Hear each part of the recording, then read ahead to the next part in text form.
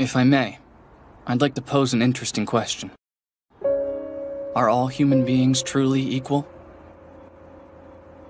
These days, everywhere you go, there's talk about the fight for equality. As a wise man once said, heaven does not create one person above or below another. People like to throw his words around. But that's not the whole quote. He goes on to say that while we are all equal at birth, pretty soon things begin to change. Academic effort is what sets some people apart to rise above the others. At any rate, humans change over time based on their actions. Truth be told, at the end of the day, equality is just a fantasy. And most of us go through life denying the fact that we live in a meritocracy.